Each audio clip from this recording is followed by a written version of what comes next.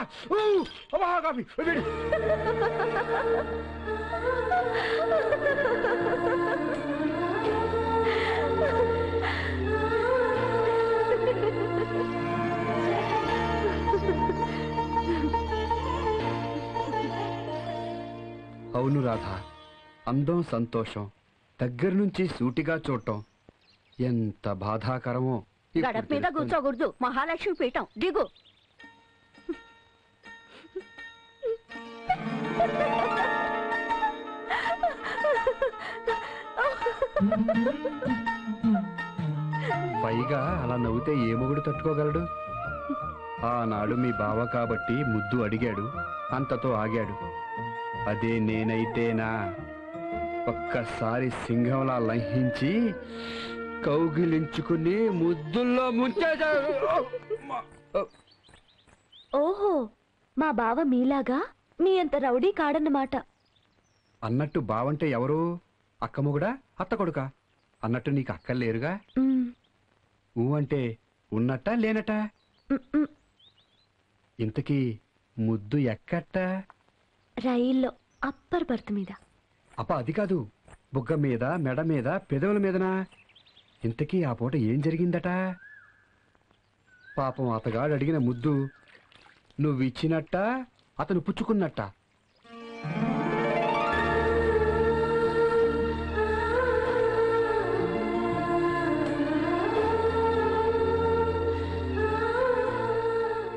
చెప్పుకోండి చూద్దాం. ఆగు. అడిగిన దానికి జవాబు చెప్పినట్టు లేదు. మరే చెప్పనట్టున్నాను. అదే చెప్పేట్టు లేవు.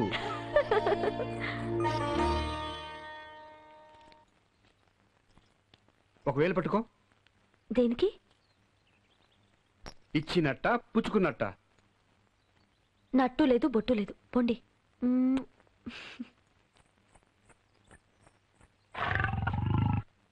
రాక్షసి. అసాధ్యకి. ఇంతలోనే దేవత కాస్త రాక్షసైపోయిందా? శోభన పెళ్ళి కొడక. ప్రేమించు రోజుల్లో ప్యూరు గోల్డేనమ్మ శ్రీ సూర్యనారాయణ. పెళ్ళైన మర్నాడు రోల్డ్ గోల్డ్ అయిపాయే శ్రీ సూర్యనారాయణ. దెప్పనక్కర్లేదు స్వామి. నేను అప్పుడు ఇప్పుడు ఎప్పుడు ఒకటే మాట. మా రాధమ్మ బంగారమ్మ. నిత్య బంగారమ్మ.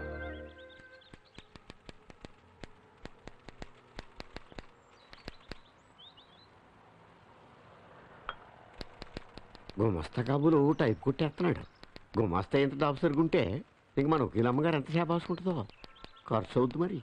అయితే నువ్వు పని చూడ ముందు. ఓర్ రావా. గుమస్తా గారు గుడ్ మార్నింగ్ అండి. అమ్మగారు ఉన్నారండి? అమ్మగారు మీరెవరు? నా పేరు అట్టగాడు ధర్మారావు అండి. గిట్టిన వాళ్ళందరూ అధర్మారావుని ఎక్కిరిస్తుంటారండి. కానీ నేను ఎప్పుడు ధర్మంతో పోటాడతానండి. అమ్మగారు ఉన్నారండి? కూకోండి కూకోండి కూకోండి. వీరి పేరు పైకోర్టు పాపారావు అండి. ఏ కోర్టులో ఏం జరిగినా పైకోర్టుకి వెళ్ళిపోతారండి. కోర్టు వాద్యాల కోసం పాతిక ఎకరాల మాగాని రెండు మేళ్ళలో తెగనం వేశారండి అయినా అమ్మగారు ఉన్నారండి. ఏంట్రాడు అమ్మగారు అమ్మగారు అమ్మగారు? అంటున్నాడు అనుకుంటారా ఆయన అమ్మగారిది మా ఊరేనండి. ఆ తండ్రి గారు జడ్జి జగన్నాథం గారు కూడా మాకు బాగా తెలుసండి. ఆ రోజుల్లో ఆయన వకీలుగా పనిచేసే రోజుల్లో ఆయన దగ్గరికి రెండు మర్డర్ కేసులు తీసుకెళ్ళానండి ఆయన అచ్చగాని చెప్పేసి కొట్టారండి. సీర్నవుకుని ఆయన ముక్కుసుడి మనిషి కదండి. ఆ చెప్పులు పూర్లో పెట్టి ఆయన కాళ్ళ దగ్గర పెట్టారండి. అప్పటి నుంచి మనం అంటే ఆయన గొప్ప ఇదండి. సాఫ్ట్ అన్నలాగా అమ్మగారు ఉన్నారండి. కేసు ఏంటో నాకు చెప్పు. అమ్మగారు చెప్తాను. మీకు చెప్పకుండానా? పోదారి తర్వాత దేవుడు. ఇదిగోనండి ఈ ఎండిపోయిన కందపిల్లక ఎలకలాగా ఉంది కానీ ఏనుగంత కేసు. ఈ సేలో ఈ కంద నాటారండి. అది తీగపాకి పక్కోరు సేలో దుంప దిగిందండి. ఆరిక తెలవక ఆ కంద సగం తరిగి ఆ దుంప కోసుకు తినేశారండి. ఆరిసేలో దుంప ఆరు కోసుకుంటే తప్పేంటి? సీనారిదేనండి కానీ నాటింది మన సేలో కదా. అయినా దుంప ఆరిసేలో కాసింది కదా. ఆరు సేలో కాసింది కానీ మన సేలో పిల్లక కదా అండి. అందువల్ల వీరికి తిక్కరేగి. చోరీ అన్నారండి. ఆరు పోరా అన్నారండి. మాట మాట పెరిగి చెయ్యి చెయ్యి తగిలి చాకుబాకు ఎగిరి ఆరికి చెయ్యి తెగిందండి. వీరి మీద కేసు ఎట్టారండి. వీరి కర్ర ఇసిరారండి ఆరికి కాలు ఇరిగిందండి. ఇంకా కేసులు వాద్యాలు వాయిదాలు. అంటే ఈరిదే తప్పు? అయ్యుండొచ్చండి కానీ అమ్మాయి గారు కానీ కేసు పట్టుకుంటే గెలుపు గ్యారంటీ. ఎందువల్ల? జడ్జి జగన్నాథం గారి కూతురు కదండి తీర్పుకి తిరిగి ఉండదు. కాలెరగొట్టింది ఈరేని తెలిస్తే అమ్మగారు తరిమి కొడతారు. అందుకే అమ్మాయి గారిని కేసు మీరు ఒప్పించాలి. ఖర్చు ఎంతైనా ఫీజు ఎంతైనా పర్లేదు. అందులో టెన్ పర్సెంట్ తమరి కమిషను అందులో టూ పర్సెంట్ నాకు. ఏమంటారు? నాకు లంచం ఇస్తానంటావు? తప్పదు కదండి మరి. నిన్ను డొక్కచించి డోలు కట్టించి దాని మీద దండోర వేయిస్తా. అంత జడ్జి గారి పోలిక. నడరావు ఇలా రండి. నేను గుమస్తాని. ఆయన పీపీ పబ్లిక్ ప్రాసిక్యూటర్. డైరెక్ట్గా ఆయనకి లంచం ఇస్తారా? ఎంత పొగరు మీకు? పొగరు కాదండి బాబు ఏదో తెలియక ఇచ్చాము అజ్ఞానం అది కాదండి దేవుడు కొబ్బరికాయ కొట్టాలనుకుంటారు. డైరెక్ట్గా తీసుకెళ్ళి దేవుడికి ఇస్తారా? పూజారికి ఇస్తే కొట్టేసి దేవుడికి ఇస్తాడు. దీంట్లో తేడా ఉంది దేవుడికి కదా ఇచ్చేది. అది కాదయ్యా పూజారికి ఇస్తే అది నైవేద్యం లీగల్. దేవుడికి ఇస్తే అది లంచం ఇల్లీగల్. ఇంతకే తమరెవరు స్వామి? నువ్వు కూర్చో. చెప్పాను కదయ్యా గుమస్తానని. అయ్యగారి విషయాలు అమ్మగారి విషయాలు హైదరాబాద్లో ఉన్న జడ్జి గారి విషయాలు అన్ని విషయాలు నేనే చూసుకుంటాను. అన్ని విషయాలు నాతోనే డీల్ చేయాలి. I am all in all. మరి ఆ సంగతి చెప్పరా? నా దగ్గర వంద కేసే కదా వంద కేసులు. గట్టిగా అరవకు. ఆయన కంట్లో పడ్డామంటే భస్మం అయిపోతాం కోర్టు దగ్గరికి రా. అన్ని విషయాలు అక్కడ పరిష్కరించుకుందాం? కూర్చో. ఏంటండి? ఇది ఎంత? రెండు వందలు రెండు వందల ఆ. ఒరేయ్! ఇదిగో నాలుగు వందలు. ఎందుకు? ఇష్ట అరవకు. భయాన్ని ఇవ్వాలి. ఇదిగో నాయన నీ రెండు వందలు నువ్వు ఉంచుకో. అదేంటిది? ఈ రెండు వందలే అవి ఉంచుకో నువ్వు. నువ్వు నడవరా? అటు కాదు ఇటు. ఏనుగంత కేసు నిష్కారణంగా వదిలేశారు. పిచ్చిదానా? ఆ క్లయింట్ పచ్చి రౌడీ గోండా. రౌడీలు గుండాలు ఉంటేనే కదా కేసులు. అయినా వాళ్ళొచ్చింది నా కోసం. నేను చేసేదాన్ని కదా? నువ్వు ఎలా చేస్తావు? ఏ? నువ్వు లాయరువి కాదు కదా? ఏ? లా పరీక్ష రాయలేదు కదా? ఏ? ఫీజు కట్టలేదు కదా? భలేవాడివే స్వామి ఫీజు కట్టడానికే కదా వెళుతున్నది. చూస్తూ ఉండు. దగ్గరుండి చదివించేసి పరీక్షలు రాయించేసి పాస్ చేయించేసి లాయర్ పట్ట ఇప్పించేస్తా.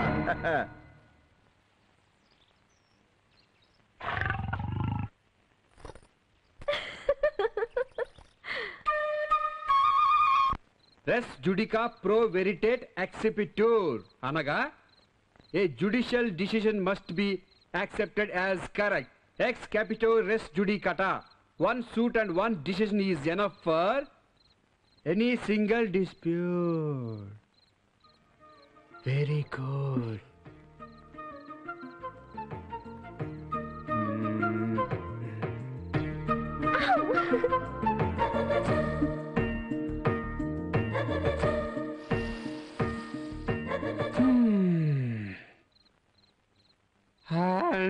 దుష్ప్రేరణ ఫలితంగా ఆ అపరాధం చేయబడినచో అట్టి దుష్ప్రేరణను బట్టి శిక్షించుటకు అభివక్త నిబంధన ఏది?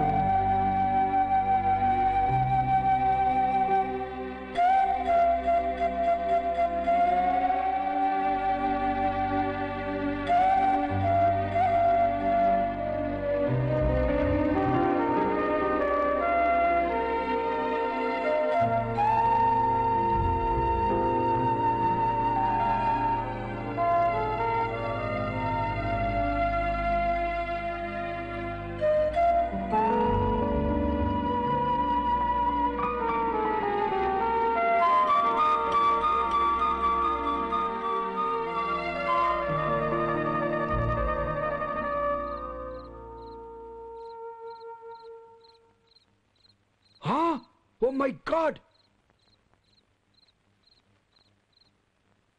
టైం పదకొండు. ఇంకొక నాలుగు పేజీలుందండి. టూ మచ్గా చదివితే అజీర్ణం చేస్తుంది. అన్నీ మర్చిపోతావు. తెల్లవారుజాము నాలుగున్నరకు అలారం పెడతాను. పొద్దున్నే చదివితే బ్రెయిన్కి ఎక్సలెంట్ అంటారు. ఒక్క పేజీ చదివితే వంద పేజీలు ఇడ్డబ్బేస్తుంది చదువు చాలించు పంచి కళ్యాణి.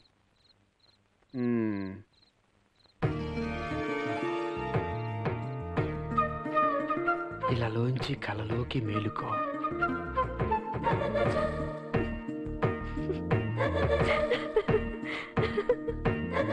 Ha ha ha.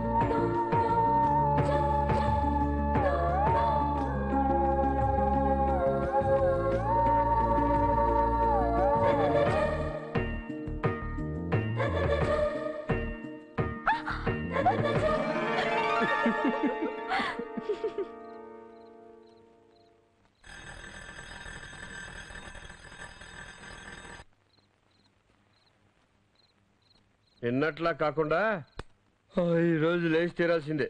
రా.